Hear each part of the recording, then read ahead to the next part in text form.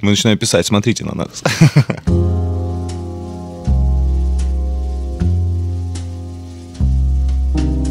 Друзья, здрасте. Вы, наверное, уже видели первую часть этого видео. Там была прослушка. Если не видели, то, ну, посмотрите, самое время. А это программа разговора. Сегодня у меня рядом со мной сидит Вань Дорн. Я думаю, что вы все его знаете и уверен, что вот сейчас там за экраном вы хлопаете и радуетесь тому, что видите эту картинку. Вань, привет. А, привет. Знаешь, мы с чего начнем? Мы начнем с того, что, э, во-первых, мы в Ташкенте. Солнечный город.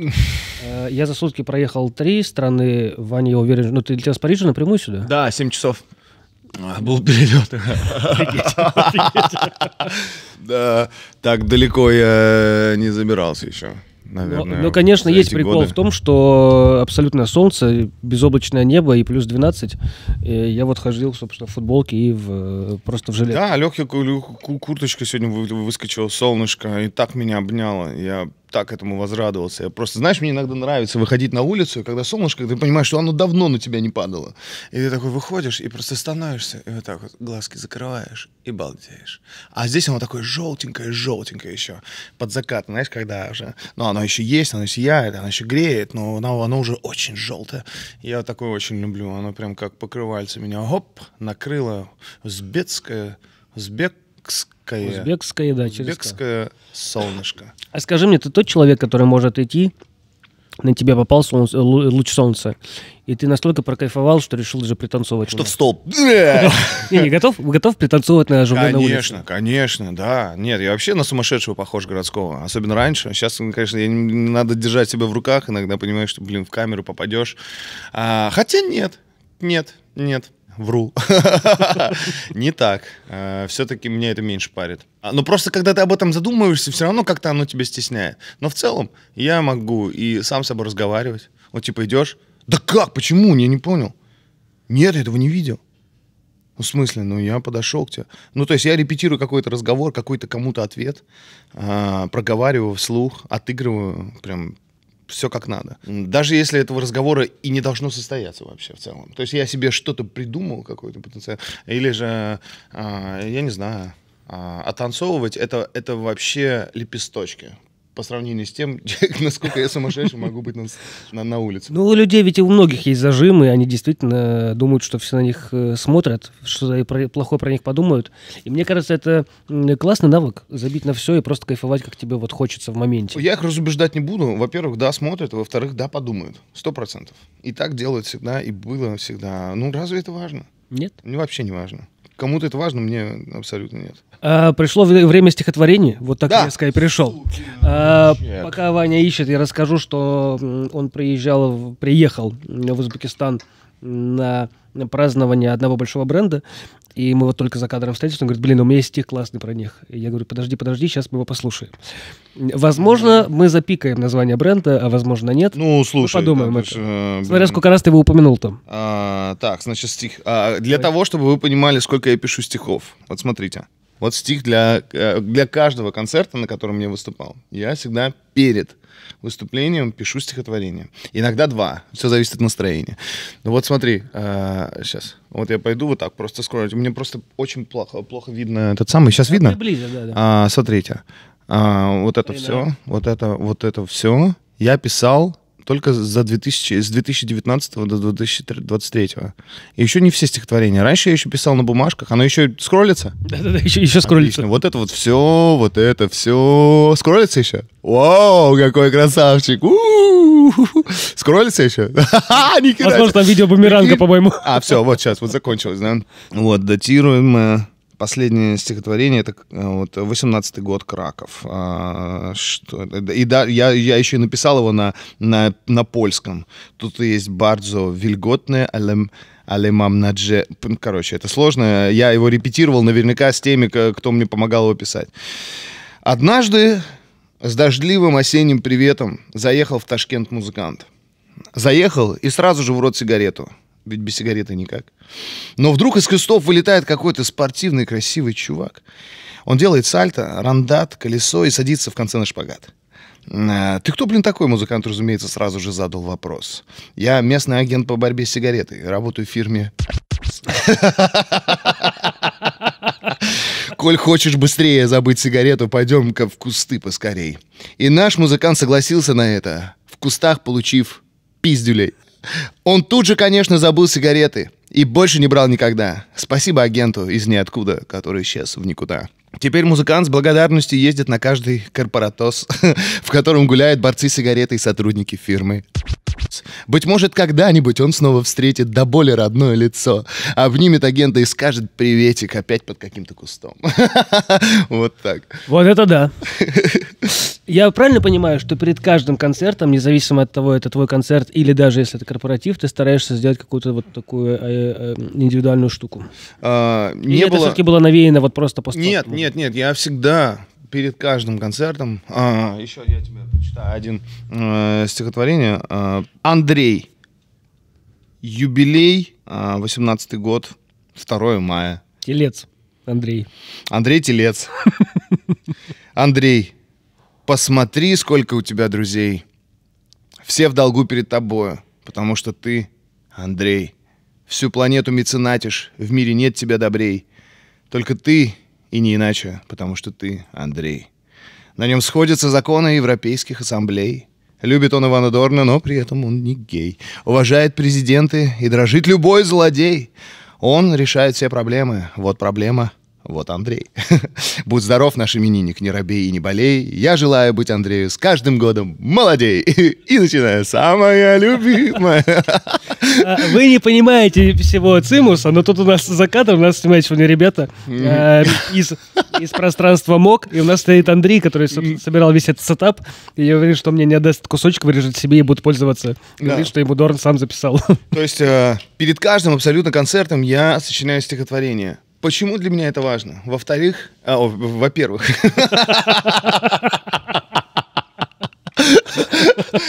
А во- во-первых, было или нет? Э, Во-первых, потому что э, я не лаконичен, если я говорю предложение.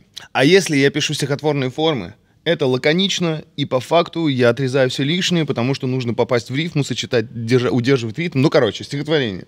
Все, это раз. Во-вторых, э, первая лаконичность, а во-вторых, это дает понять людям, которые пригласили меня к себе на выступление, что я благодарен, я с ответственностью подхожу, я знаю, кто они, я познакомился с их историей, я всегда прошу мне выслать, кто это, что. Вообще, перед тем, как мы подтверждаем какие-нибудь корпоративы, и я прошу, чтобы мне обязательно высылали информацию, что за компания, чем занимается, какие предпочтения, какую музыку слушают и все остальное. И потом мы уже соглашаемся или нет. Правильно ты говоришь, я об этом и подумал, что по факту ты же не просто там приехал, отбарабанил -то к- как- как-то корпорат и отъехал, ну, уехал, я имею в виду, а действительно это вот какой-то уровень погружения, это Ну должен- да. заказчик условный, он же всегда должен там, ну, я думаю, что он сильно ценит, и наверняка там есть куча хвалебных штук. Не, конечно, конечно. Но мы в целом приезжаем только тем, кто очень ценит, потому что мы не любим участвовать э, в тендерах, э, типа, вот этот хочет кого-нибудь, а какую цену вы можете предложить? Не-не-не-не. Мы идем туда,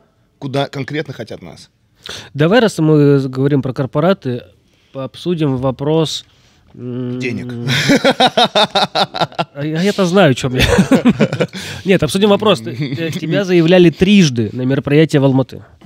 И они трижды переносили. И я знаю, что там была какая-то Да, история, простите, что пожалуйста. забыли купили- купить билет, что-то там такое. А, слушай, вот с этим, конечно, лучше по- поговорить с моим концертным а, директором и моей подругой Екатериной, потому что она вела с ними беседы. Но а, мне, а, она, конечно, передавала мне, что происходит. Она все ограничивалась тем. Она, кстати говоря, очень мягкая. Вообще обалдеть, я тебе говорю, Да, я супер. в разговоре, она мне, она мне настолько аккуратно написала, что организаторы проебались, что я такой, типа, боже мой, как ты, как ты это сделал? Да, Ты очень, да. то- очень утонченно. Да, что я сам даже не могу до конца это озвучить, понимаешь, но в целом, э, ну, короче, это было проблематично. Ничего, я все равно желаю фестивалю этому быть, и пусть все будет успешно, и дай бог, на следующем году мы на нем появимся.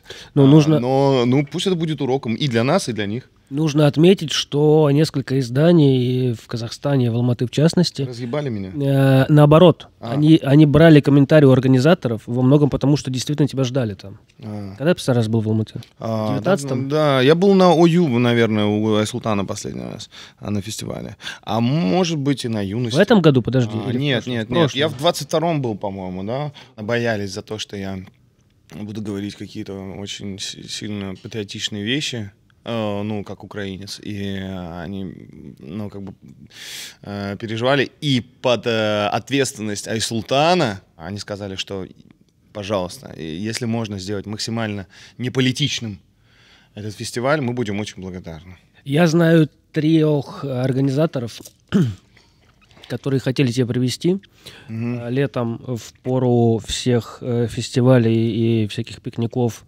и летних событий. И как минимум, э, ну, какое-то количество из них, если не все, действительно обсуждали эту историю. И это было в формате «Ой, а там будет слишком много, вот, э, э, слишком много про политику». А, ты слишком... знаешь, организаторы фестиваля не переживали по этому поводу, а, потому что все знают, кто я, что я, и после 24-го мы еще раз расставили точки над «и», да, после 24 февраля. Я посмотрел твое интервью у ребят в Риге, кажется, если они в Риге, «Говорящие, говорящие головы». Это был май, наверное, да? Да. И я видел тебя абсолютно растерянного. О, да. А, и, ну, было прям э, больно смотреть ты имел полное право, во-первых, не прийти туда, отказаться в целом разговаривать. А уже выйдя, при, придя разговаривать, ты имел полное право сказать все что угодно. Угу. Но ты настолько деликатно, с пониманием и с какой-то теплотой отзывался. И вот э, твоя очень хорошая мысль, что э, там ну, есть много долбоебов. Угу. Но это не значит, что вся страна такая, и все люди такие. И твоя отсылка о том, что там э, вот эта фраза, которую ты сказал, что у меня там есть друзья, я не знаю, мы давно не общались, но друзья ли они еще. Mm-hmm. Я тебе просто за это благодарен, за то, что ты не ушел в радикализм, не отлетел башкой. Это было очень деликатно, это было очень человечно, что важно. И сохранить себе эту человечность — это большое дело. Спасибо тебе. Слушай, человечность и искренность — это вообще, наверное, одни, а, а, а, такие, знаешь, у меня... Это для меня моральные ценности очень важные, э, от которых э, строится моя поведенческая установка и отношение к людям и к жизни. И я очень счастлив, а, что мне вот повезло э, не, не застать а, тот ужас, вот лично вот глазами, потому что хрен его знает, как бы я сейчас э, себя вел, как бы я рассуждал и что бы во мне внутри поменялось. Потому что у всех, э, у многих, да у подавляющего большинства а, моих сограждан как раз э, э, вот этот э, страх, э, э, вся эта эмоция, все это очень-очень сильно, э, ну, как бы последствия очень серьезные повлекли за собой. И они, допустим, не могут так миролюбиво, э, не миролюбиво, а, скажем так, с... Э, с точки зрения какого-то понимания и, может быть, даже высматривания там а, более хороших, менее хороших людей, да, они не могут этого себе позволить. У них э, вот радикальная позиция. И я их понимаю прекрасно. И, и, но при этом мне очень сильно повезло, что я не застал это все. Париж. Я знаю, что потому что Насте нравится. А, да. Я знаю, потому что было проще получить документы, их не, не удавалось получить в Испании вы пытались, да, получить доки, сделать доки ВНЖ? Мы в Испании, мы в, Барселоне, мы в Барселоне сначала были первый месяц, и там просто не получилось ничего снять. Не, не давали квартиру, требовали какие-то залоги, которых у нас тоже не было на тот момент. Блять, это было очень сложно. Почему не Португалия? Она просто... А Португалия, почему не Португалия? Потому что, ну, как бы мы с семьей согласились, то, что она далеко находится от всего, несмотря на то, что это Европа, это такая самая крайняя точка Европы, от которой далеко летать. Э, да не то, чтобы там, ладно, в э, Варшаву, в которой мы тоже тогда часто бывали, но да, ну, в какой-нибудь там Берлин, что-то, знаешь, Прибалтика, еще что-нибудь. Это всегда, ну, многочасовые перелеты получались. Соответственно, а Париж это вот ну, центр Западной Европы, как минимум, да, оттуда далековато все равно лететь в Варшаву, но все равно это ближе, чем Лиссабон. И с другой стороны, знаешь, вот есть темпоритм города. И вот внутренний темпоритм Лиссабона — он э, не обещает каких-то перспектив. Ты же все равно себе рисуешь какие-то успешные успехи в, на, западной, на западной территории. И мне кажется, что ты можешь потеряться, очень сильно пропасть и зарыться в болото э, такое местного, э, местной индустрии музыкальной. А не хочется этого. А ты подвержен э, вот этому течению? То есть, если там город расслабленный, то и ты сам немножко расслабляешься. Да, наверное. Португалия абсолютно, да, она вот такая, она на Чили, мне кажется, даже больше, на большем Чили, чем испанцы в сиесту. Да, да, я, я, наверное, точно буду э, калиброваться под город, и а, он отобразится во мне максимально. Да что там, слушай, если у- у- на мне, на моем настроении отображается вообще наличие парка или не наличие парка из моего окна. Вот сейчас в Париже этого парка нет. Я вообще просто вижу напротив другой, да, да, стену своего, ну, своего же дома, просто через, э, а, знаешь, как другой отсек. И с другой стороны тоже. Мы как в колодце каком-то живем, ну просто удобные, классные апартаменты, но из окна абсолютно ни хрена не видать. И это уже отображается на мне, потому что я э, не могу сказать, что я люблю Париж. Вы все еще снимаете или купили уже? Нет, мы еще снимаем, да. Прикинь, не могу, я, я не могу себе позволить купить. Надо, надо еще поработать, пописать. Ну, не могу не спросить, раз мы на- про это начали. Ага. У тебя было много концертов и корпоратов, я думаю, что было тоже немало. Ты не скопил или не пытался копить? Не, о, о, смотри, не, копил, конечно. Ну, во-первых, какие-то деньги я сейчас вложил в, в- в Украине, в, в недвижимость и в просто какие-то фирмы, которые, как по мне, будут э, э, развиваться, несмотря ни на все. И для меня это тоже было принципиально, потому что я бы хотел инвестировать в Украину э, в самое несносное время. Так сказать, вот чтобы сейчас вот херак с сусеком насобирать на квартиру, м-м, такого не получится. Ты сам в- э, вникал в историю с криптой там, или с какими-то штуками? У А, есть ну, у меня, в- слушай, это интересная штука, потому что у меня почти большинство моих э, а, частных концертов, да, приватных, а, это а, корпоративы для IT-компаний. Я знаю почти все IT-компании, которые были, ну, на тот момент в России, в том числе Беларуси, а, Украине, а, потому что, как оказалось, айтишная среда Мгм. очень близка с моей музыкой. Вообще, ты выходишь на сцену, 400 человек компании, иногда и 2000 человек компании, и все знают мои песни. И не самые популярные. И я тогда понял, ага, вот эти головы, которые, с- ну, как бы со мной резонируют в одной, э, в одной частоте.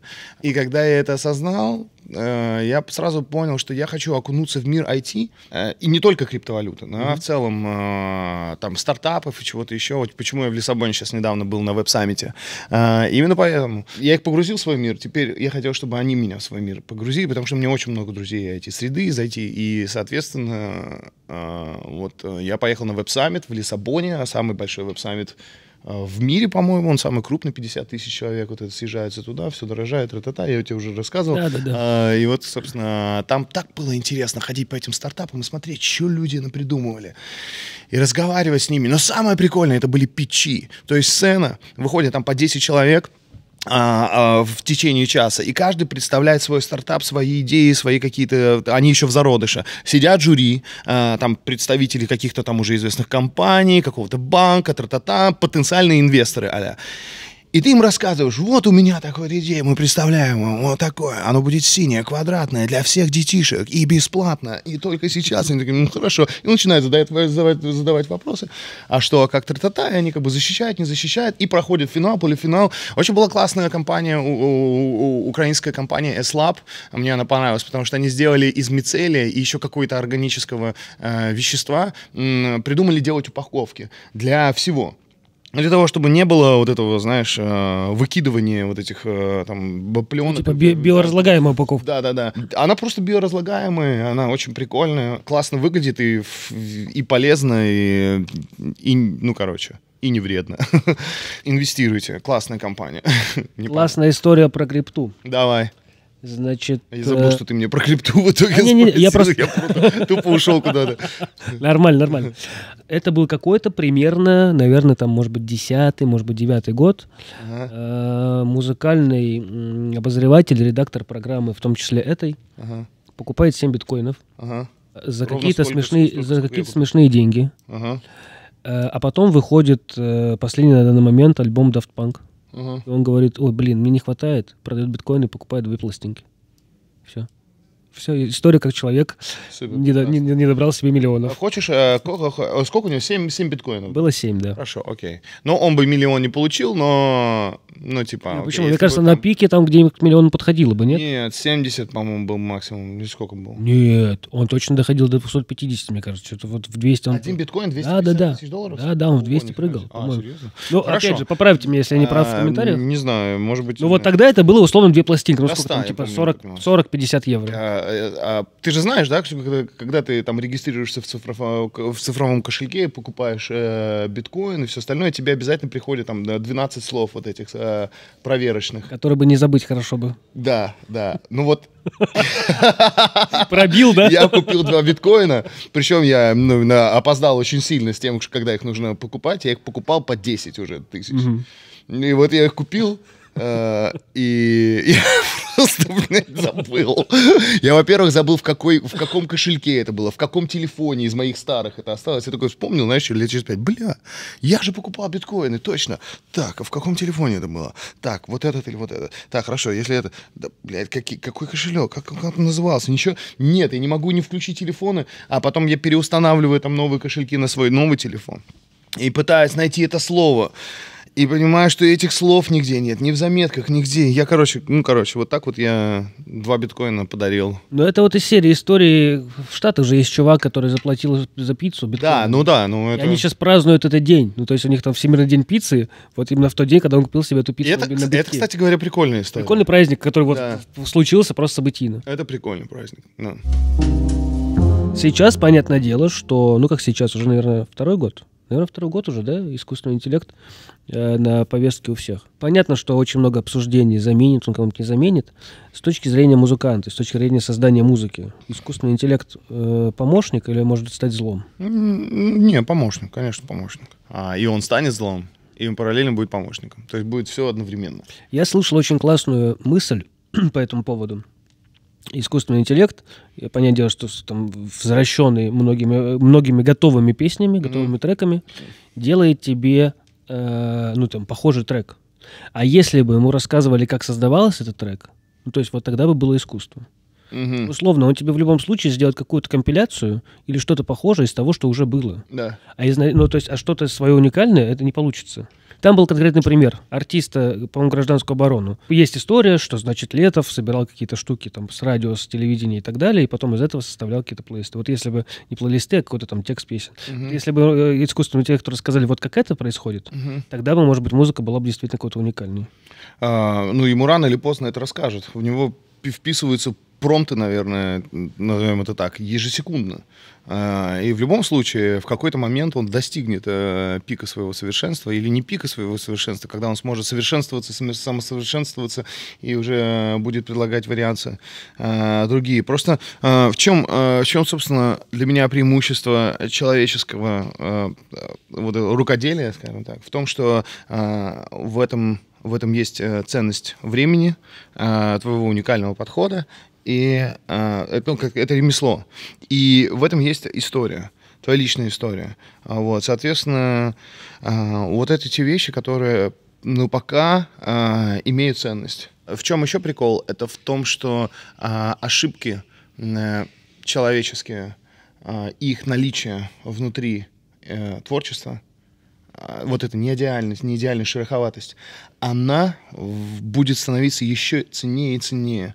Э, со временем, э, когда AI захватит э, как бы все вообще максимально, вот эта шероховатость и неидеальность, которую я пропагандирую очень и в своей музыке в том числе, она будет иметь ценность по-любому. Потому что он не сможет так ошибаться, он не сможет, ну, он, конечно, попытается, но я думаю, что вот это будет тяжеловато ему делать. Искусственный интеллект не сможет перепридумать барабаны, как сделал Фил Коллинз. Мы про это? Ну, допустим, да, да. Очень часто какие-то инновации, да, или какие-то решения, которые со временем становятся знаковыми, происходят просто потому, что ты ошибся, ты просто затупил. Забыл, поставил чайник, не отключил, что-то кипело, ты ж, вот, нихуя себе класс. Красивая картина получилась, сфотографирую. Понимаешь? Вот эти вещи а, пока я, я не вижу, чтобы он в эту сторону плясал. Создание хита – это математика или чуйка? Это интересный вопрос. А, ты знаешь, у меня свое понимание в создании хита. Э, где-то я вижу, когда я слышу, где он, э, то это очевидно попсовый, мне его хочется чуть-чуть исказить и сделать менее, э, менее попсовым. Это математика, то есть это можно просчитать, это, но он тогда не будет, понимаешь, запланированный хит – не будет хитом настолько, насколько может быть незапланированный хит. А незапланированный хит это всегда, э, ну, он, не может быть математически просчитан. Он просто получается. Но он получается, когда ты, а, делаешь его искренне, б, когда ты делаешь его э, э, с изюминкой, то, что его отличает от всех остальных хитов. Э, неправильная нота, диссонанс, какое-то странное слово, какая-то странная форма.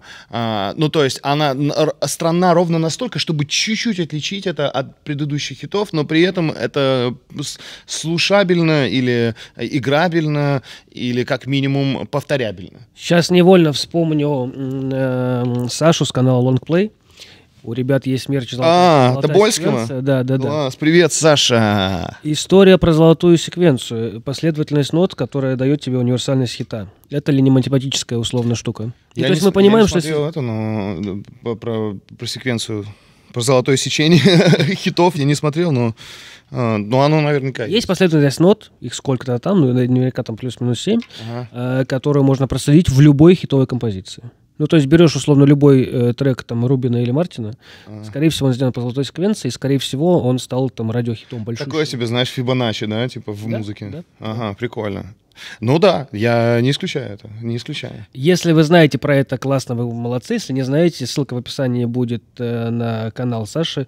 Правда, хорошая история. И сразу делая амаш, э, готовясь к шоу «Прослушка», я часто смотрю его выпуски. Возвращаясь к этой истории про, хит, про хиты, ты говорил Кордеева, что ты знаешь, как сделать хит. Да. И даже показывал, по-моему. Да, показывал.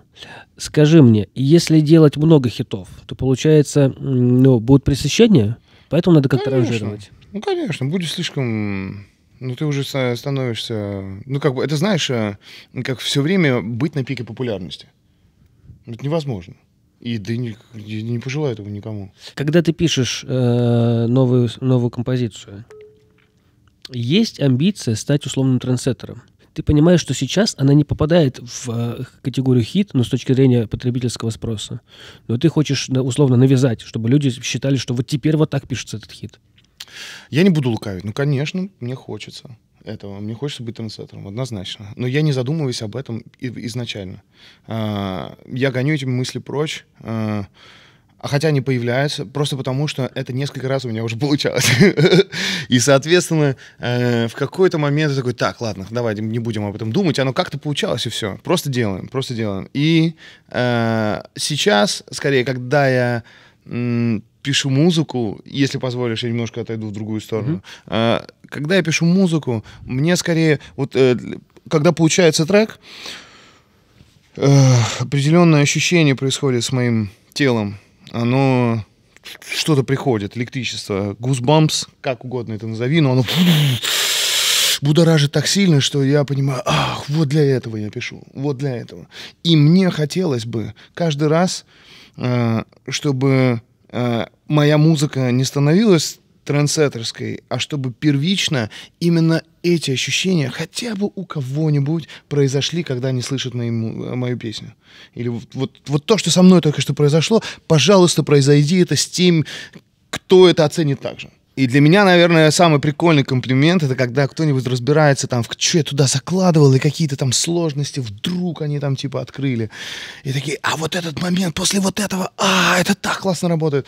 Скажи мне, тебе важно мнение? Ну, то есть ты написал трек, э, записал трек, все там свел, тебе условно там нравится. Тебе важно с кем-то поделиться, кому-то скинуть, чтобы ну, получить мнение стороннее? Конечно. Или ты только на, на себя? Не, ну, не, конечно, твои... конечно важно, да. И вообще это моя проблема, потому что мнений бывает очень много и разных, а потом э, мне сложно выбрать. Вообще, для меня, если есть выбор уж больше двух, лучше, я не знаю, лучше э, заснуть, проснуться и утро вечером мудренее уже не выбирать, знаешь, потому что уже поздно.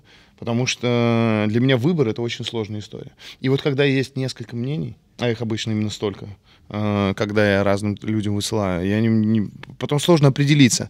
С музыкой полегче. Если бы это касалось, там, допустим, обложки для альбома, uh-huh и у меня их четыре, и у всех разные мне. Все, пиздец, я не определюсь никогда в жизни.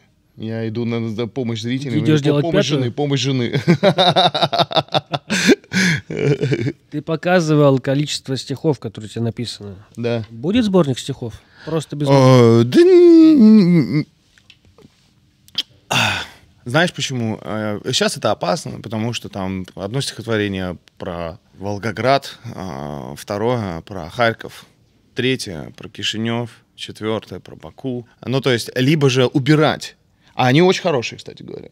Либо же там какая-то там типа политическая ситуация тоже в тот момент актуальная, э, на которую я рефлексирую в стихотворении. И, блин, мне кажется, надо подождать. Мне надо, кажется, надо подождать. Как, собственно, я жду с моим русскоязычным альбомом, который написал в 2021 году. Именно из-за того, чтобы никого не травмировать. В, ну, в Украине, в первую очередь. А, альбом, ты о нем уже говорил, альбом полностью записан, там есть мастеринг, все готово? Или ты его хочешь все-таки дорабатывать? А, нет, мастеринг не готов еще, а, миксинг почти готов. А, мы поэтому, собственно, не торопимся. Но ты записал англоязычный трек. Или франкоязычный. Франкоязычный трек. Да, да. франкоязычный. Рассказывай, да. что там.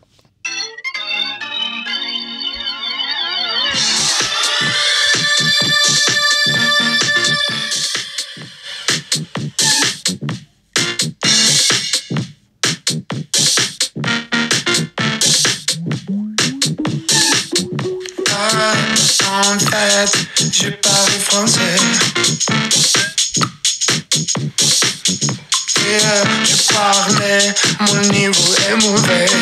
Ну, короче.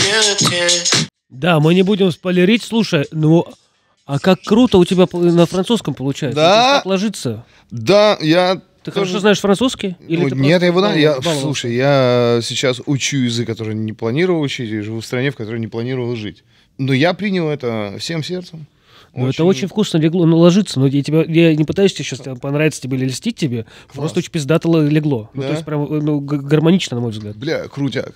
Мы пытаемся сейчас достучаться до Стромая, чтобы он ну, с нами э, фичерик сделал. Если есть люди, ребята, если есть знакомые со Стромая, пожалуйста, дайте, дайте ему знать, что мы его хотим. Мы его, мы, мы говорим ему об этом уже. Но там же история, что он сам себе на уме. Да. Он, у него была Но у него есть лейбл. У него есть лейбл, он выпускает. Я не знаю, выпускал ли он кого-то, других артистов. Мне кажется, что сейчас, да, по-моему, выпускал точно, и у него как раз сейчас фаза неактивности. То есть вот он опять поактивничал, вернулся.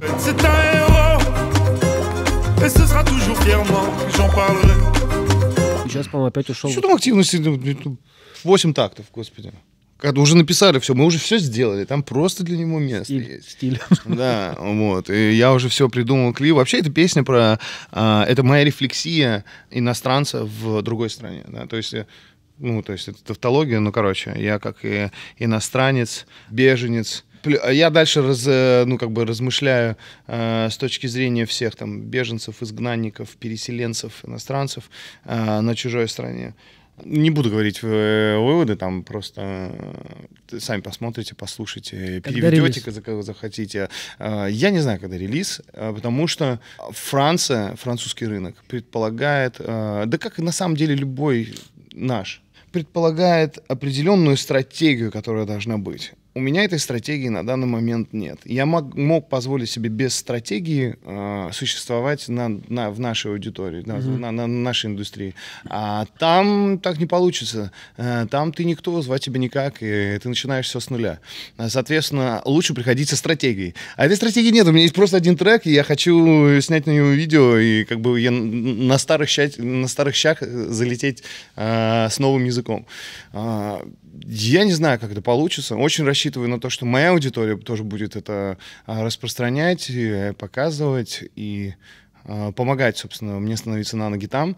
А, я вообще не парюсь, честно. Много людей узнают твою музыку? Ну, вообще, много людей знают э, во Франции и в Европе в целом твою музыку? Ты знаешь, я был на Амстердам Дэнс Ивенте недавно. Потрясающее событие электронной музыки, знаешь, фестиваль прямо разных людей, связанных с электронной музыкой, артистов, менеджеров, э, владельцев лейблов или там рабочие. Там все. Я пришел на, на, а, на вечеринку Get Physical, очень прикольный э, лейбл, э, как мой друг мне сказал, не сильно андеграундный и не сильно, и не сильно попсовый. Как моя музыка. Э, и мне очень он понравился. Я раньше его не знал. А, но треки, которые он выпускал, некоторые я знал, кстати. И э, меня пригласили туда люди, которые сами на вечеринке это не были. И они не пошли туда. И я прихожу туда, и я никого не знаю. Давно мне не было такого, что надо, ну, втираться в кому-то в доверие, входить в, в какой-то образ, рассказывать, кто ты, что ты, что достиг. И тут приходит спасение. Так. появляется девушка, очень красивая, молодая, а, смотрит на меня и говорит на английском, «Ива- Иван, я ваша поклонница. Меня зовут там Линда. Я не помню, как ее зовут. А, я выросла на ваших песнях. Значит, а, я выпускаюсь на лейбле Get Physical. И я бы хотела познакомить вас с Эйнаром.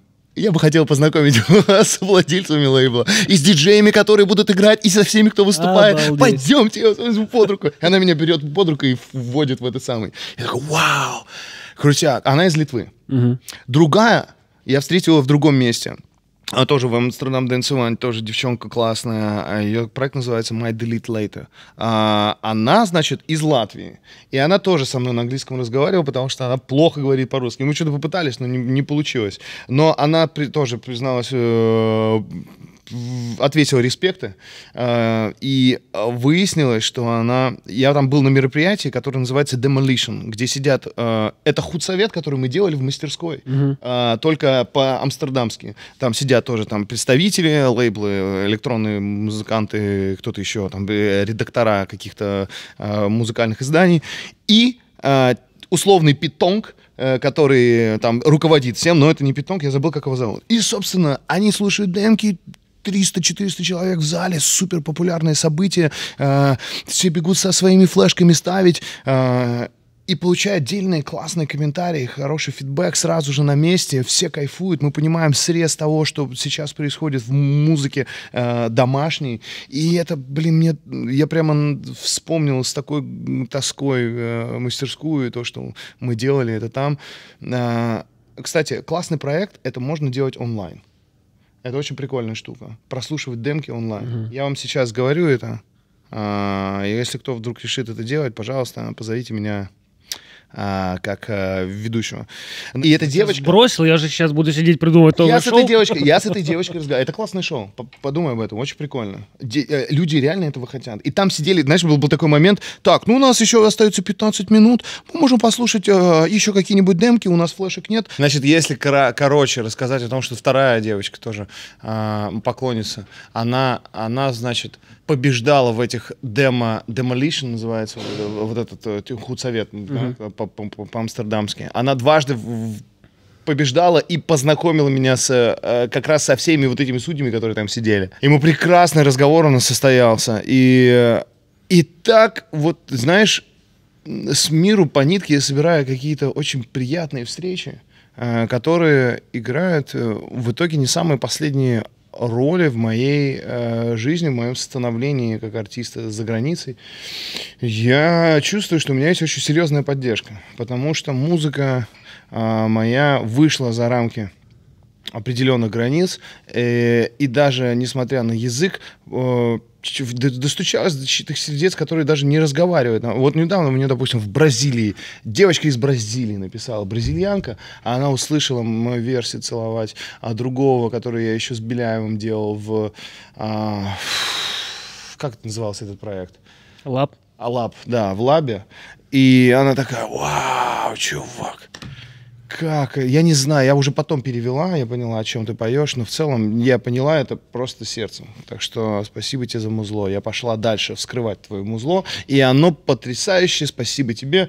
И вот таким вот образом время от времени э, ко мне приходит, и я понимаю, что, блин, да у меня все шансы есть э, тихим, тихим сапом э, себе, э, выпуская просто музло, выпуская без, может быть, даже сложных стратегий, э, заиметь заграничную аудиторию в каком-то количестве.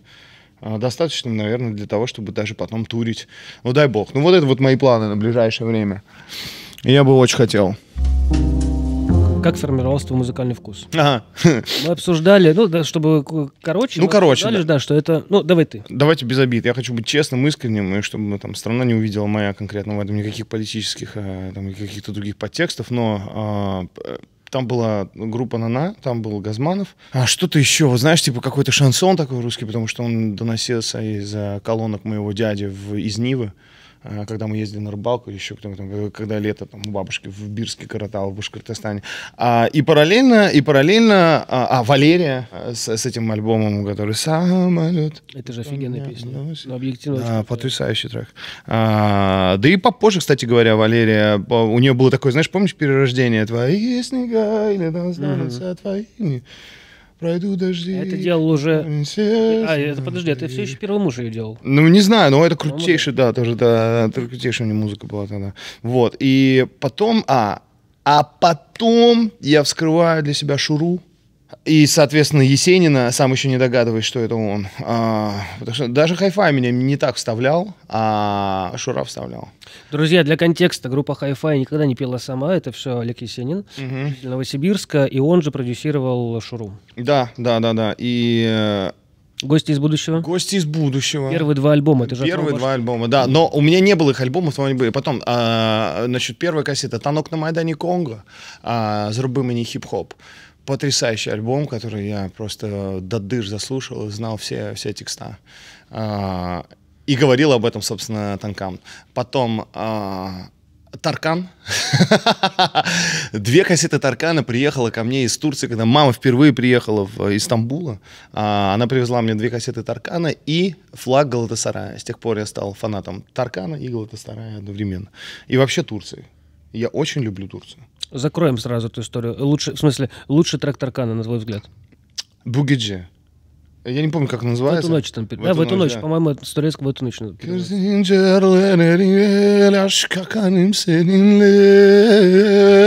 Yum gözlerini soluksuz uçalım göklerde Bu gece Это офигительный выпуск, чуваки. Я просто...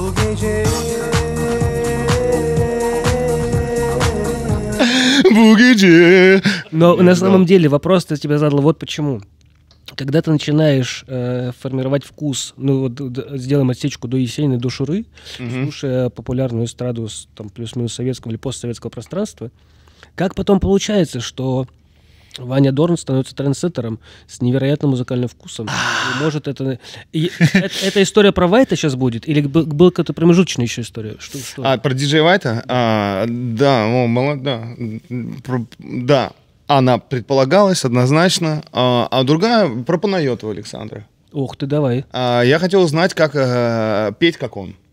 Как сделать так? Он был моим одним из первых преподавателей, мы вместе даже песню одну написали, а, но не выпустили. А, я ее пел на конкурсах. Собственно, а, он мне сказал, знаешь, как это надо делать? Ты берешь заграничных артистов, Крейг Дэвид, Марай Керри, Уитни Хьюстон, хотя они все не отождествляются с очень прогрессивной музыкой, да, на то время для меня она была именно таковой и других исполнителей, которые для тебя нравятся, вот как вокалисты, э, и просто прослушиваешь их все время, на ночь ложишься и слушаешь, и слушаешь, и слушаешь. А потом днем ходишь и пытаешься это воспроизвести собственным голосом. Поэтому у меня был Boys to Men, у меня были Уитни Хьюстон, Марай Керри, и я их всех слушал для того, чтобы пытаться петь как нибудь Мне, конечно же, этого не получилось, потому что, не знаю, может, я не так э, сильно старался, но Крейг Дэвид, он на меня сильно повлиял. И Lighthouse Family тоже еще был. Кайф, да. А, если помнишь Lighthouse Family, и ты как, а, какой-нибудь там песня, эм, блин, Run, по-моему. Нет, не Run. ну, это самое известное. I, I wanna run да, да, это самый известный Ну, у них еще есть один, э, еще один есть трек, э, и он, блин, э, и я тебе скажу, я сейчас его тебе сыграю, и ты мне скажешь, на какой из моих треков это похоже, потому что я, мне кажется, сам того не осознавая, э, дань отдал Lighthouse Family. А пока Ваня ищет, э, напомните мне, э, муж Уитни Хьюстон или Тина Тернер Бобби Браун. У нас есть внутренний мимас. Я как-то сказал в выпуске, что Бобби Браун муж... Муж Тины Тернер? Да. Ага. И мне напихали. Да, да, да, да, да, да, да. Зря ты так. Там, там, там сотня комментариев, которые говорят об этом. Ну, да, да, да. Не, я тоже, я помню, я в, а, я у этого, у Сережи в, в программе, у э, Сережи микрофон, бля, у Меза. У Меза, да, у Мезенцева. Я, я значит, а, а, на сан-сцена, а, начал говорить, а, э, что это музыка Прокофьева. И вот эти все аквариумы, вот это вся типа лебеди, а, и вся вот эта его череда про животных. Я сказал, что это Прокофьев. И с такой уверенностью вообще вещал, я потом, блядь... Да, а у меня просто, ну, короче, вот такие тоже были у меня. Вот сейчас я поставлю этот трек, и пусть они отгадают, с каким треком моим. О, это, это хороший байт. Друзья, да. да. А, а мы потом из всех тех, кто догадался, давайте мы будем писать свои... Пишите ваши ответы в первом закрепленном комментарии, ответами к этому комментарию, и мы чем-то разыграем с какую-нибудь классную штуку по этому поводу. Смотри. Чтобы еще было понятнее, что это за трек. Причем Рома бестселлер, его не знал этого трека. И я ему его не показывал, когда мы делали. И у нас вот как-то само всплыло, и, типа, и, и флейта, потому что он ее себе купил, она у него была.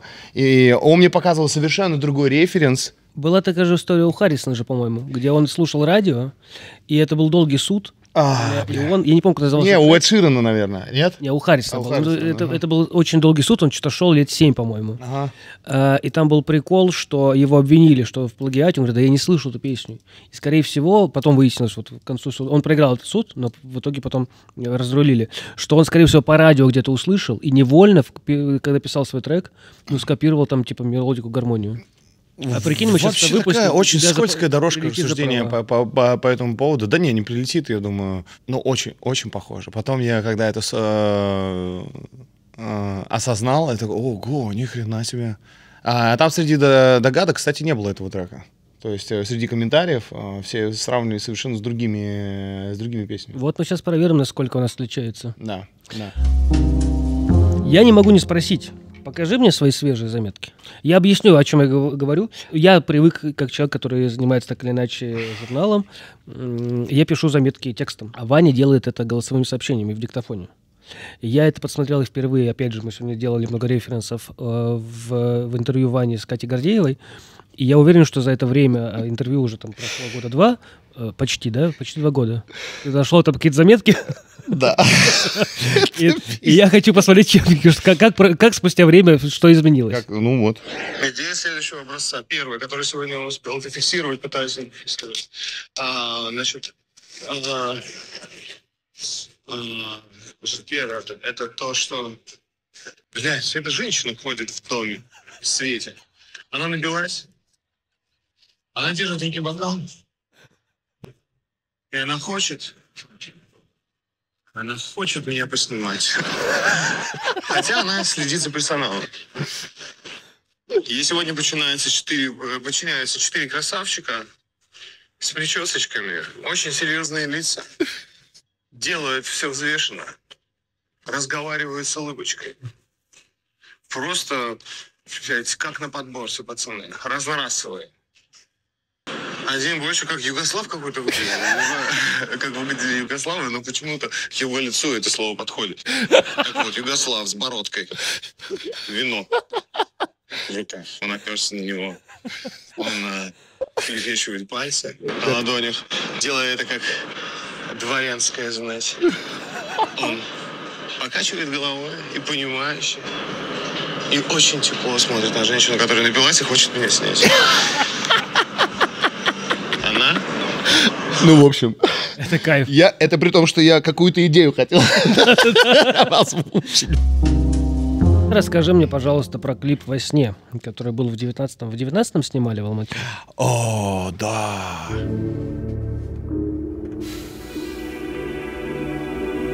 В 18 году мы снимали ее, ну, по под Алматой мы куда-то уезжали у да, нас. Да. Часовая или двухчасовой был переезд. А, Шишкин Макс. И это, по-моему, его была вторая, то ли первая, вторая работа, может быть. Вообще, Шишкин, кстати говоря, вместе со мной впервые за камеру взялся. Ну, как профессионально, потому что мы для JBL что-то снимали, какой-то там, типа, мут-видео нужно было. И он тогда мне признался о том, что это его первая работа. И Макс, вот, тебе большой привет. Макс, тебе огромный привет. Ты же знаешь, Макс уже да? кино снял. Что снимает? Он еще делает, до, до, до съемки какие-то делает. Да, да, да, да, я жду, я жду. Макс, я жду ссылочку закрытую для любимого артиста твоего. Да, я ему позвонил, когда и, во сне хотели снять, и говорю, слушай, есть такой, есть такой трюк, вот, вот хочу вот этот трюк, а вот все вокруг уже ты сам придумывай. Но я хочу, чтобы было вот конкретно вот эта история. И опять, не буду скрывать, меня на это вдохновил мистер Уазо в клипе, с, там, где Фаррелл Уильямс у него снимается. Arrêtez de vous reproduire.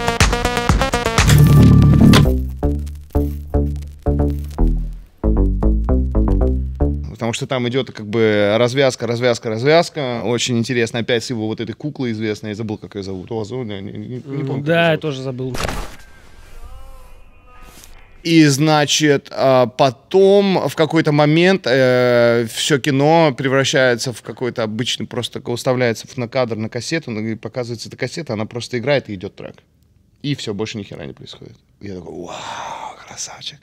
И я подумал, что сейчас это будет прям, знаешь, такое еще, э, это может э, иметь еще двойное дно, потому что в нынешнее время это не просто пиздоватость какая-то, а это еще и намек на то, что мы немножко забыли вообще, как это слушать музыку. Нам нужны дополнительные финтифлюшки, блестки и все остальное. Ну, как будто бы еще и 18 год, это год, когда винил э, снова стал велик, да, и начал... Ну, вот, вот э, это уже, наверное, года два, как появилась какая-то такая э, э, общая мода на, воз- на возвращение. Возвращение винила. винила, да. Ссылка будет в описании на это видео, вы его посмотрите, поймете, о чем мы говорим. Ну, однозначно, не просто так винил там. Конечно, он э, вечный. И он намекает на то, что хорошая музыка должна слушаться, не смотреться. Для того, чтобы дать э, воздух, э, да, может даже закрыть глаза и дать воздух собственному воображению, помечтать, полетать. То, как я делал это в детстве. Кассета, э, плеер, наушники, закрываешь глаза, и все, ты видишь и просто воображаешь, и летаешь. А сейчас у тебя забрали эту возможность. Потому что твои глаза, а, ну, они, они заняты. И, соответственно, твое воображение почти не работает. Оно за него все делает, за него все пережевывает. А, а это, это такая атроф, атрофированность, э, не знаю, атрофация, назовем это так, происходит. Э, воображение, которое крайне важно. Я детям всегда ставлю своим музыку просто слушать на ночь, чтобы они имели подобный опыт, который имел я, и воображали. Но ты им еще рассказываешь какую-то предысторию, чтобы им больше картинки картинками. Ну, конечно, да. Я стараюсь, да, да, да. И я не буду лукавить, я ставлю и клипы тоже. Мы иногда делаем там вечер просмотра там Фаррелл Уильямса, или вот сегодня мы знакомимся с Марком Ронсоном, или еще с кем-нибудь. Вот у нас по пять клипов. Давайте там самый лучший. И это бывает. Но в основном они засыпают у меня под пятницу, Крюангбин. Я счастливый человек. Я был на концерте Сана отдельно, на концерте Сережи, на концерте Сережи Бабкина и на Рио. И на, пя- и, да, и на пятницу. Я, на зас- Риге. ну, я три концерта застал, это просто отвал башки. Я не был на Бабкине, я был на Запорожце, это часто был у него гостем, но на Бабкин меня приглашал Сережа, но я не смог. Но, собственно, я закрою еще этот вопрос, мне кажется. Я был на Мадонне! Я тоже. Да? О, женщина, какая ты женщина. На каком концерте? Я полетел, короче, история. На двух. Ну ладно, лучше. История. Я сижу дома, вижу, что концерт Мадонны 4 января, э, со 2 января она стартовала. В Алматы? Это, нет, это был 2020 год. Ага. Я такой, блин, захожу в билеты. А, билеты- отлично, Билеты, мягко говоря, дороговаты. Я такой, ну ладно.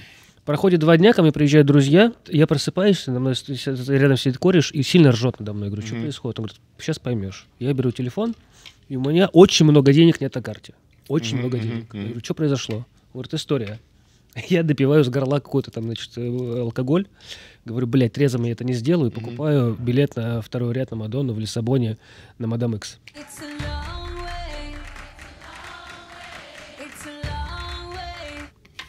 Я на этом же концерте был, да. Охренеть. Только в Париже.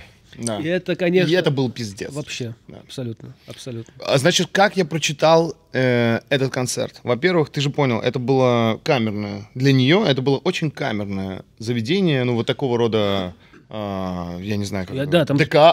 Там тысяч человек максимум. Ну да, в Рексе три, ну да, две, да. И она делает это умышленно, потому что она хочет быть ближе к своей аудитории. Потому что когда это огромный-огромный зал, как последний, да, концерт, которым она была, уже вернулась как бы в обратно отмотала, а, она не чувствует аудиторию так, и ее аудитория не чувствует так, как это мо- происходит вот в таких более камерных условиях. Поэтому она делала 16 подряд, но вот по 2000 человек, Да. и она с ними вот так вот общается, она видит их в лицо, она понимает, как выглядит ее слушатель, а, а они видят все ее морщины, они чувствуют все эти а, дрожь в голосе, чувствуют каждую эмоцию, которая на большом расстоянии не увидится, знаешь, вот это движение микро движение брови или чего-то. Это потрясающе. В Париже делала прикол с полароидом? А, с полароидом, конечно.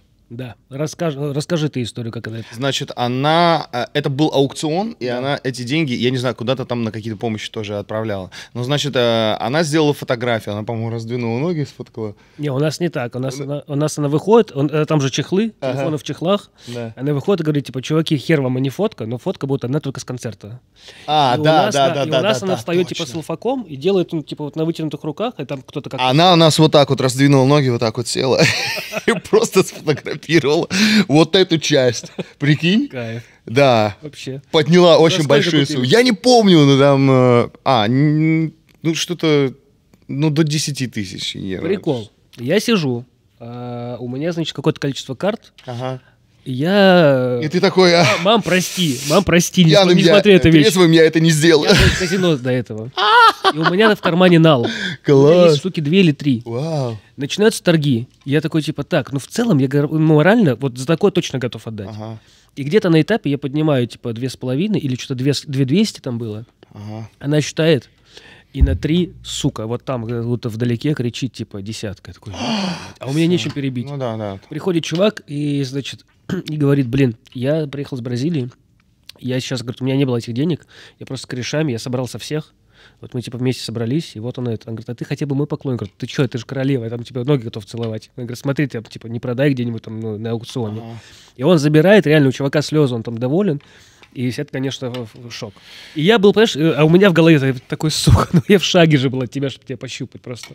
Бля, круто. Такая история. Я еще, знаешь, о чем подумал? Подумал о том, а, и, по-моему, так у нас и было. А может быть и нет. И это просто красивая такая сказка. Она, значит, набивает, набивает цену, набивает цену, выходит вот такое вот тоже слезливая часть, и она говорит, да бери просто так. Прикинь? А я, кстати, не знаю, забрал он деньги или нет. Я тоже не знаю. Бля, если бы так можно А было прикинь, сделать. да? А ты такой, «А, забираю. Офигеть. Я благодарю тебя. Офигеть. Ты меня ценишь очень высоко, бабе. Так что да, Мадонна, я был- я был на легенде дважды. Это потрясающая женщина. И сегодня тоже я с утра слушал Мадонну. Концерт, э, на который ты очень сильно хочешь попасть, но еще не был. Я Шаде, я хочу на Шаде. Бля, как мы тут вообще, вообще сто процентов, вообще сто Ну, процентов. И, и, э, есть еще э, один коллектив, если знаешь, Стереолаб. Он такой для больше задротиков, его не все знают, но он такой глубоко уважаемый, многосэмплируемый, особенно битмейкерами типа МФ, э, Дума какого-нибудь, Мадлиба, э, Q-типа, они все сэмплировали Стереолаб.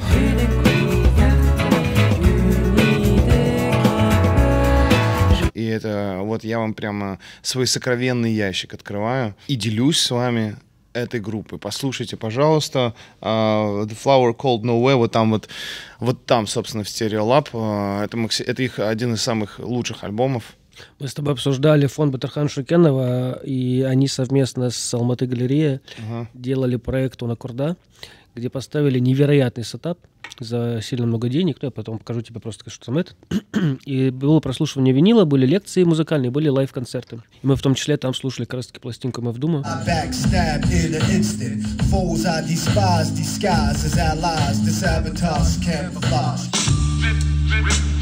Instant. Один из них был Шаде, и ты, конечно, сидишь, и у тебя просто какой-то отвал башки, и мураши идут во все стороны. Это крутая штука. Класс. Ты знаешь, э, мне рассказывали про одного чей, этого самого предпринимателя в, в Лиссабоне, украинец. Он приехал туда и вот сейчас как бы э, переформатировался.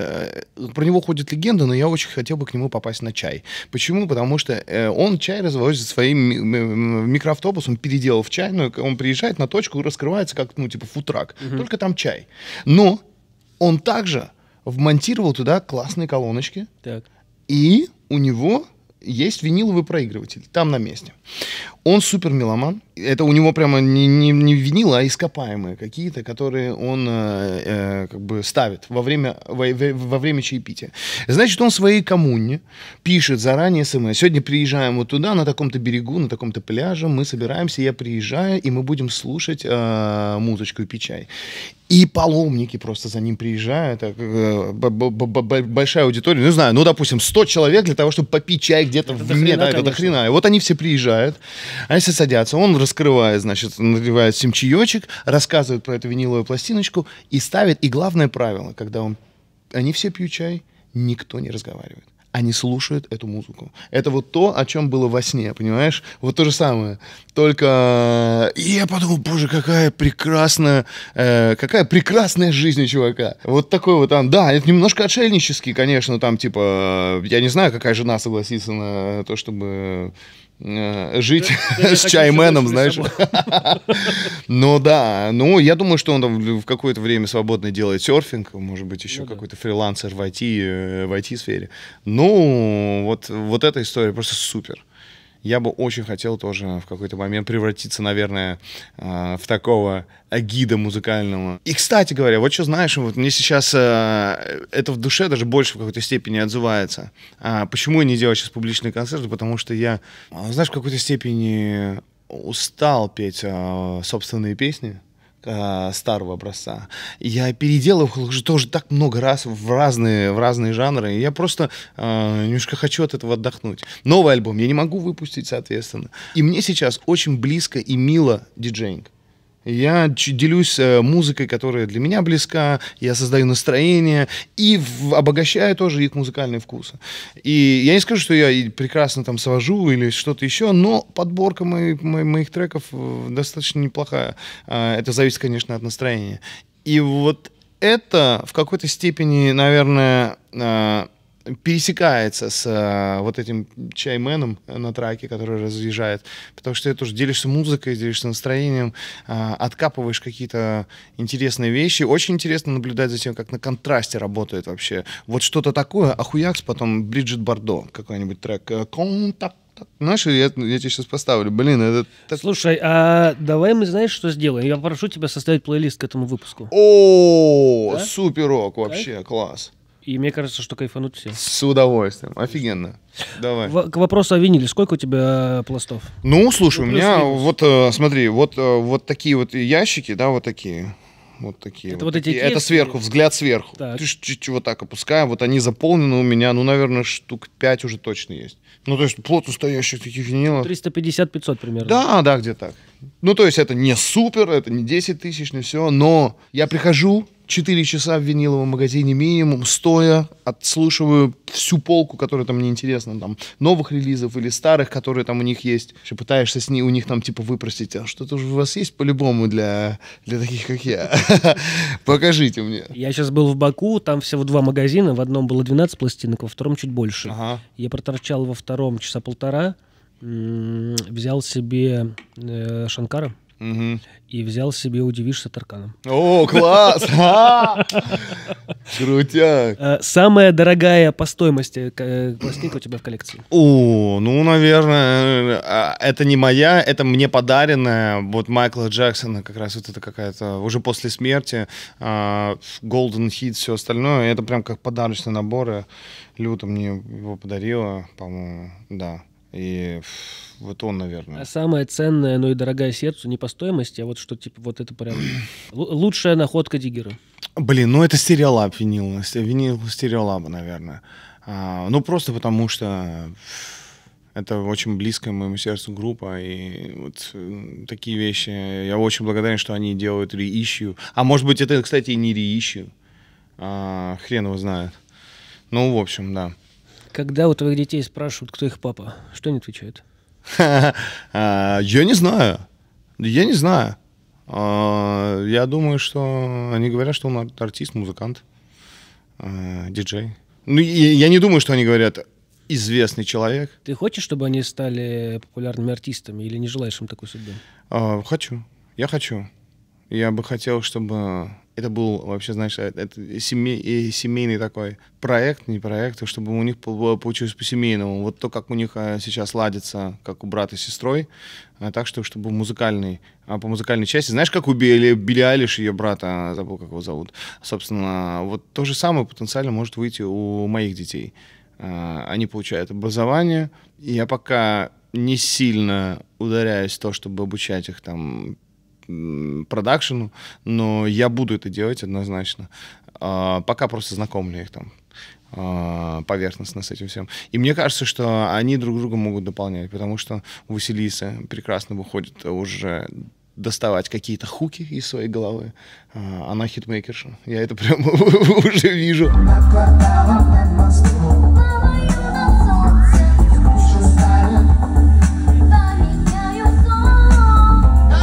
Она обожает э, корейский поп, и это сказывается на ее всем, в том числе на том, как она сочиняет. А, а Иван, Иван, он потенциально очень хороший композитор. И я это тоже чувствую. Не то, чтобы я хотел бы, да, чтобы известность у них была такая большая, но я бы хотел, чтобы они точно а, в этом достигли ну, успеха. Для самих себя, в первую очередь. Ты ходишь на терапию, психотерапию? Не. Мы с тобой за кадром говорили, что выступая Ага. на конкурсах, где вот ходила мама и сразу говорила тебе про ошибки. Да. Это сделало тебя сильнее? Конечно. И супруга тоже об этом все время говорит. Она тоже... Сейчас реже, потому что у меня вообще редко сейчас интервью бывает. Но когда раньше, да, меня... вот, э, ты находишь супругу по, по, по подобию э, собственной матери. А, И вот в этом случае они точно совпадают, потому что она тоже мне часто говорила всякие вещи, там, не то сказал, не то сделал, та-та-та, как то и, да, конечно, это, ну, имеет свое влияние. А, Вообще, я э, в первую очередь, почему? Потому что, а, вот если с мамой, да, я был готов к критике, у меня к ней уже была определенная а, толерантность. И я знал, как с ней быть. И когда там я встречал комментарии, какие-то вещи, типа буллинга, тра-та, я не относился никогда к этому серьезно. Если это серьезный, дельный комментарий, я его всегда увижу и распознаю из тысячи. И пойму, да, почему вот этот меня цепляет. Почему? Потому что он в самое бьет сердце.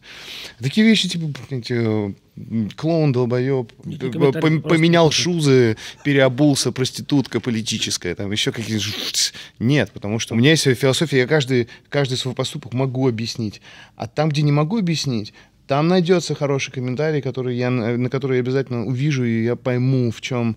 а, и- или как минимум задумаюсь, да, в чем я был здесь неправ, и попытаюсь по- либо парировать его, а, либо не смогу и, и приму к сведению. Такое бывает. Но это никогда не было для меня а, тра- тра- ну, травмой. То есть это не, не, не драма для меня. Именно потому, что я закалился вместе с мамой ее комментариями, сразу же спускаясь со сцены. Я сразу же встречал в лоб. На, ты сейчас тут не так, тут не так, тут не так, ты, блядь, забыл, тут рука, тут не улыбнулся, блядь, я же тебе говорил, пошел налево, пошел направо, как ты здесь пел, блядь, почему вот здесь тут зашел, почему ты... Э, Так, хорошо, хорошо, хорошо. Подышали, успокоились. Вот, собственно, и я считаю, а, что это не всем подходит, кстати говоря. У кого-то есть изначально в ДНК расположенность тому, чтобы воспринимать это так, а у кого-то нет. У меня была установка изначально такая. Все, что не делается, все к лучшему. Понимаешь? Это, знаешь, это такой иммунитет сразу же получается. Вот к, к любой хуйне, которая в твоей жизни происходит. Я как-то слышал версию. Я считаю, я жду, вообще, я, я заклинаю вас иметь всем этот девиз по жизни. А, у меня, мне его мама сразу как бы говорила, всегда, говорит, блин, ты что ты паришься? Все, что не делается, все к лучшему. Ну, сделай выводы и иди себе с этим дальше. У меня есть своя версия этого. Ага. Я это называю... Я, ну, я это спиздил где-то, у кого-то услышал, мне очень понравилось, что фраза «все, что не делается к лучшему», она немножечко оптимистичная. Мгм. А, а вот если ее перефразировать «все, что не делается, так должно быть», Мгм. Она, по сути, то же самое, Мгм. только без лишнего флера оптимизма. И мне почему-то Ага. так это понравилось. Такой, типа, блядь, ну да. Все, что не делается, так должно быть. Да, тоже, да, да. Э, Любовь спасет мир? Любовь. Мир, Э, который ебнулся, ну, сильно ебнулся сейчас. Ты знаешь, искренность спасет мир. Это, наверное, в какой-то степени тоже часть любви. Ну, любовь — это совокупность определенных вещей. Самопожертвование в том числе. Есть же страсть, и это тоже часть любви. На, на самых первых порах. А страсть может и погубить. Может сжечь. У меня тоже такие вещи были. И я понимаю, что вот на, на стадии, знаешь, такого а, спокойной любви, принятия, а, понимания, всепрощения, вот эти вещи, наверное, спасут мир. Искренности. А, э, эти то. И если их э, понимать как часть, э, как часть любви, то, наверное, да, любовь спасет мир. Но я бы все-таки настаивал на том, чтобы э, акцентировать на вот отдельно вещах. Понимание, прощение и искренность. Вот эти вещи спасут мир. У Бигбедера есть э, фраза, что любовь живет три года, ну и одноименная книжка. Ага, да. И ты прав, ну, я читал. с тобой согла- согласен с тем, что э, страсть это часть любви, которая, собственно, это вот по первые три года, наверное, все-таки страсти есть. Да. Как э, спустя много лет заново влюбляться в своего партнера? Тут надо научиться слышать и всматриваться заново. А, потому что меня немножко бесит какие-то, знаешь, типа, вот, допустим, э, я думаю, что мою супругу тоже. Когда ты, получается, типа, смотришь на новое положение, да, старыми, ста- на, ста- на старых щах еще, типа, э, ну, типа, ой, я знаю, да не говори, ой, да я- уже тысяча раз было, тра-та-та-та-та. Мне кажется, что единственный вариант, как можно пересоздавать и перепридумывать друг друга, и перевлюбляться друг в друга, это давать шанс, на, э, и это зазор на то, что э, мы все-таки меняемся. И вспоминать еще раз, почему мы вместе, за какие вещи я конкретно тебя люблю. И есть ли они у тебя сейчас? И если их нет, э, то, может быть, я их просто не вижу. Я их, э, это, знаешь, как уже баннер blindness, когда ты, типа, смотришь на баннеры, в, как на рекламные в, Баннерная на сайтах, и слепота, ты как бы уже, типа, ты уже не, просто не замечаешь. Хотя они вот перед глазами. там. И мне кажется, что, ну, как бы, ну, просто нужно вспоминать, почему, за что, и давать возможность меняться.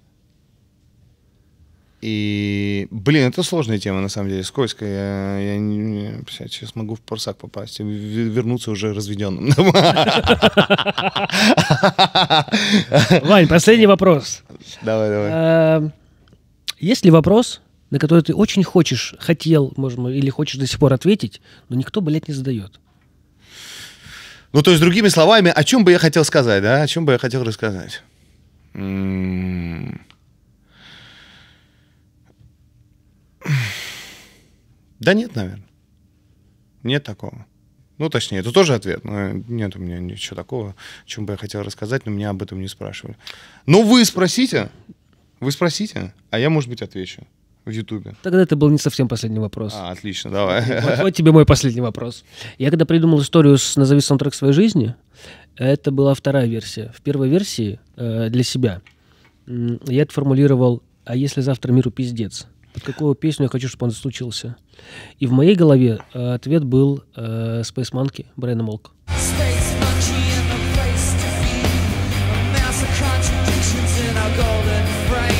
Я настолько загнался, что я эту песню не слушаю в самолетах. У меня есть легкое н- н- желание летать.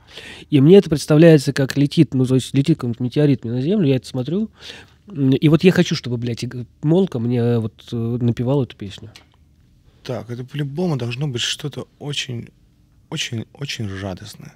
Ну, такое, знаешь, искренне радостное.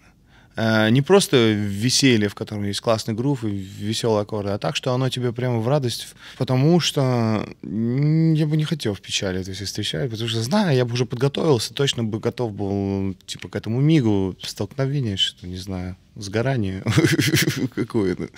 Я думаю, что это может быть... Да, давай. Это будет э, D'Angelo. Он на- на- называется I would never betray my heart. И слова там прекраснейшие. Но если вкратце, я никогда не предам свое сердце. И я думаю, что а, как а, вывод, как вывод, это будет перед моими глазами. Я буду стоять и смотреть на приближающийся метеорит и точно знать, что я в своей жизни как минимум не предал свое сердце. Ну, Может быть, пару раз. Блядь, такую лирическую концовку записал, а потом смазал. Друзья, это было шоу «Разговоры». Это был Вайн Дорн, это был Класс. Сергей Штоль, главред из э, журнала Esquire. Спасибо, что смотрите. Поставьте лайк или дизлайк этому видео, напишите комментарии. Э, Подпишитесь на канал так, чтобы стоял колокольчик, так вы будете первые узнавать об этом видео. С А меня больше- плейлист. Да, да, да, будет плейлист, Ваня, обязательно. Э, блин, ну, в общем, вы все сами видели, все сами слышали. Спасибо, что вы с нами. Пока-пока. Спасибо. Спасибо тебе. Очень хорошая передача получилась.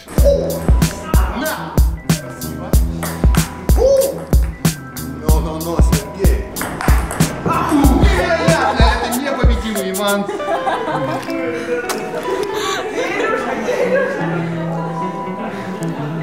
Спасибо.